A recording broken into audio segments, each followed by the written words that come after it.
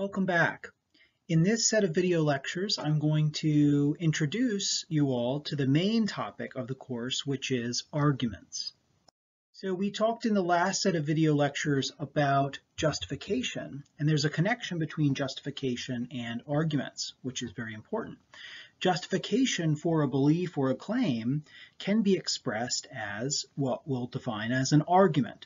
Um, so the definition of an argument is given here on this slide. Um, there are slight variations sometimes in, in how this idea is articulated, but this is actually a uh, relatively precise definition as far as definitions go, and it is um, it's this definition that is widely used within um, the field of critical thinking, logic, philosophy, uh, this is a sense, a meaning of the word argument that is fairly precise and technical, um, but is, uh, is, is very important and actually applies to quite a lot of what we do when we speak and when we think. So the definition here is a set of claims where some of the claims are intended as support for others of the claims. And the supporting claims in this set will be called premises, and the supported claims will be called conclusions.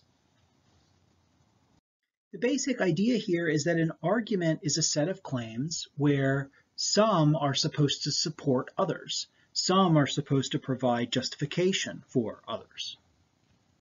Now, in this definition, I've just used the word claims. Um, I've, I've basically defined argument, uh, arguments in terms of claims, but the same uh, the same definition would apply to beliefs. So here I've qualified the argument slightly to say claims or beliefs.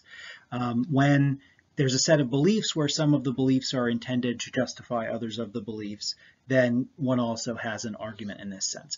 Uh, just for the sake of, of ease of discussing arguments, I will mostly just refer to claims. But when I do that, you should you should understand that um, when I do refer to claims and relations of justification between claims with arguments, you should understand that the same thing would apply to beliefs and relations between beliefs. Remember that claims um, express possible beliefs, right? Claims are declarative sentences that state some possible belief that someone could have, like the statement, there are bears in Yellowstone Park, or the statement, there are no bears in Yellowstone Park. Both of those statements express possible beliefs. They're both claims, right? Um, and so um, since a claim is defined as something that can express a possible belief, the relations between claims that are articulated in explicitly made arguments, stated arguments, or um, or arguments that you would read on a you know on a page somewhere on a website or in a book, those uh, arguments that are expressed in language um, have an analog or a parallel in arguments that are expressed in someone's thinking. Um, sometimes when we talk about the arguments expressed in someone's thinking, we use the term inferences or process of reasoning. Um, but uh, it's really the same the same basic relationship that we're interested in, which is relations of justification between beliefs or claims. Now, another thing to note is that we don't mean the word argument um, in a very common sense that it's used sometimes in the language, which is sometimes people um, talk about an argument or arguments in terms of a disagreement or debate. That is, when they use the word argument, they mean a disagreement or a, or a debate or a fight. So saying, for instance, um, I had an argument, my, my, my boyfriend or girlfriend and I had a long argument um, late into the night last night.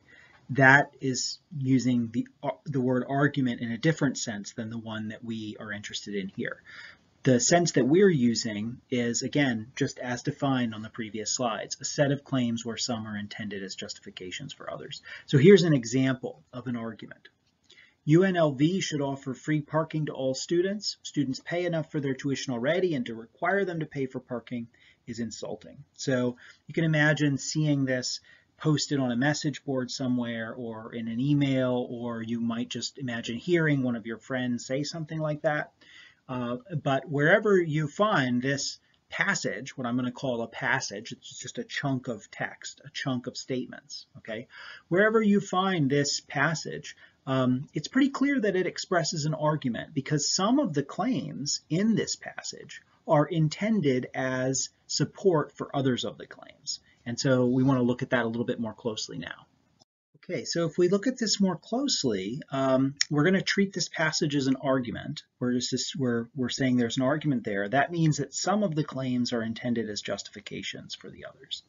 So, um, which are the claims that are justifying and which are the claims that are justified? That's the question we want to ask.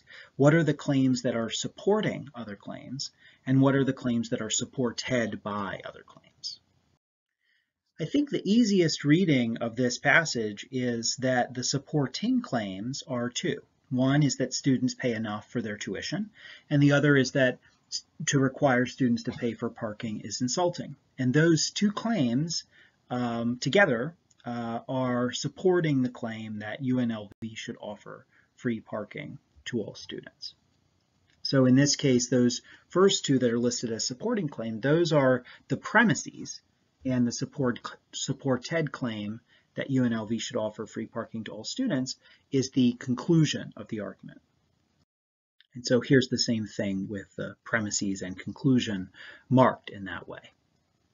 Now, I don't want to confuse things. We're just getting started with this process, but I want to just, as an aside, mention that there is probably another way to read this passage, which involves um, two conclusions, an intermediate conclusion and a main conclusion. And the way to think about that is that you could say, uh, and again, it, it's it's a something of a matter of interpretation how the argument in a passage is read or how a passage is read as expressing an argument.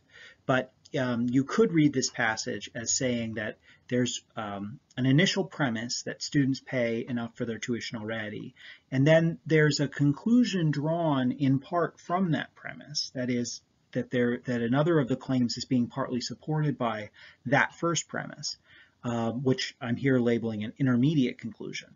This would be that um, to require students to pay for parking is insulting. So if you think how much students are paying already is a reason to think that asking them to pay is insulting and that that's part of what's being stated here in this argument, then um, that second claim could be treated as itself a conclusion as well.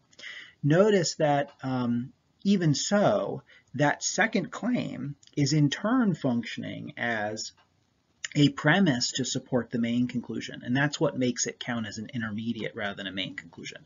So interestingly, that middle um, sentence there is actually serving both as a um, both as a conclusion of another uh, premise there, of another claim, and it's serving as a premise in support of the conclusion. Okay, so sometimes the same claim will serve both as a premise um, and as a conclusion. And so uh, that's what's captured here in this alternative answer to the question of what is the argument in this passage.